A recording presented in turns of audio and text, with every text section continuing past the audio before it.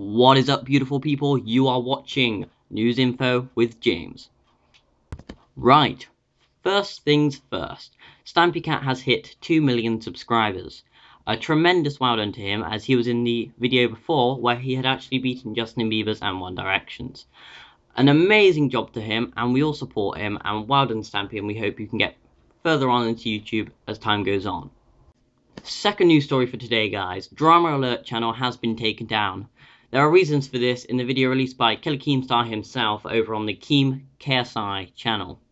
There's been many reasons for why the channel's been removed, or rumours you could say, but truth be told, he's released a video on the Keem KSI channel and that's got the real answers for and from him. So if you want to find out more, I will leave a link in the description below to the video and you guys go and find out about that.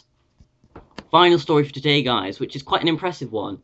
The popular YouTube pranksters Roman Atwood and Vitalyzd TV have been arrested for an ATM prank. An ATM is one of those things you see in the wall where you take money out of. And they decided they'd see people's reaction when someone was to break into one. They can't release the footage because the police have taken away their cameras which actually have the recorded footage on it.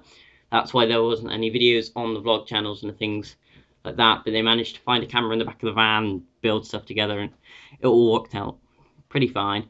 But go and check the link in the description below of the vlog of Roman Atwood's channel, and it should be able to help you guys. Uh, that's just amazing, guys. You've managed to hit 20 views. Can't be more gracious than I am now, but thank you very much, guys. Uh, remember to hit the subscribe and the like button, and every time you get 20 views, a new info video will be released. Thank you, guys. Talk to you soon.